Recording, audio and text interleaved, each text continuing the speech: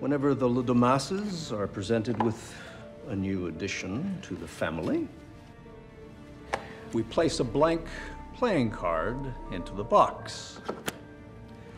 Our initiate then has the privilege of drawing the card, and Mr. Le Bail will tell us which game to play. I got chess. I got old maid. Seriously, what the fuck is old maid? Fitch.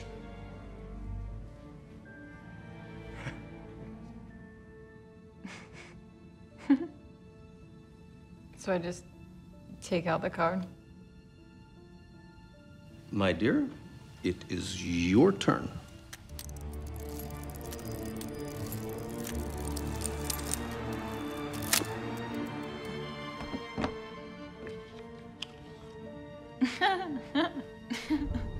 What does it say, girl? Um, says, it says hide and seek. Are we really gonna play that?